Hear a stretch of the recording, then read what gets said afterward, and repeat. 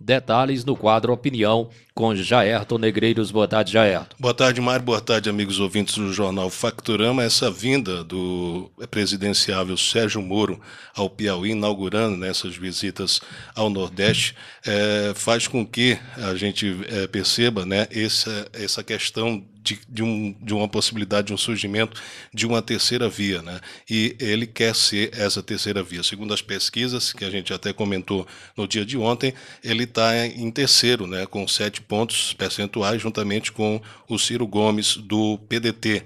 E essas vindas dele no Nordeste, nos redutos, em que o PT ainda tem muitos, muitos votos e que nas últimas, na última eleição ganhou praticamente todos os estados, faz é, justamente isso, né, um contraponto para que ele consiga absorver é, esses votos do, de, de uma segunda opção, que seria do próprio PT e também do Bolsonaro. Né? Tivemos é, também a participação do Bolsonaro ontem no Rio Grande do Norte, com a presença de muitas pessoas, né, Caicó, em algumas cidades lá da, da região do Rio Grande do Norte, demonstrando, inclusive, que a governadora daquele estado, Fátima Bezerra, está numa situação delicada, né, porque a gente viu muito, muitos, muitas pessoas presentes é, nas aglomerações feitas ontem pelo candidato é, Jair Messias Bolsonaro. A vinda do Sérgio Moro também promete repercutir, porque ele participará de diversos programas, como o Cristóvão frisou na sua participação no quadro Bastidores da Política,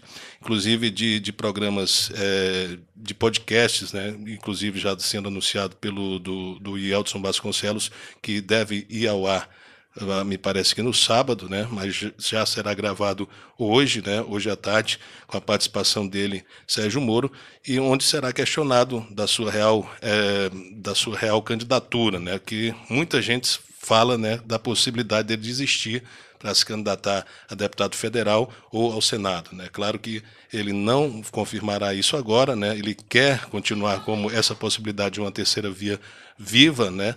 para que seja uma possibilidade desse enfrentamento. Né? E é natural que ele esteja aí nessas participações, batendo os dois primeiros colocados que estão aí na disputa, né, para um eventual crescimento, para forçar um segundo turno e no em nível federal, né, como a participação aqui do, do vice-prefeito Rogério também frisou, não acreditar na possibilidade de, de uma terceira via a nível federal e a nível estadual, no momento realmente isso está difícil, mas no decorrer da campanha essa possibilidade pode existir, né, inclusive na, em defecções de, de, de alguns candidatos que estão na disputa, é, se convertir em um, um, terceiro nome que possa vir a ser forte e bater de frente com as duas opções que estão aí à, frente nas pesquisas eleitorais, que são é, do presidente é, Jair Messias Bolsonaro e do ex-presidente Lula. Então vamos aguardar os desdobramentos disso no decorrer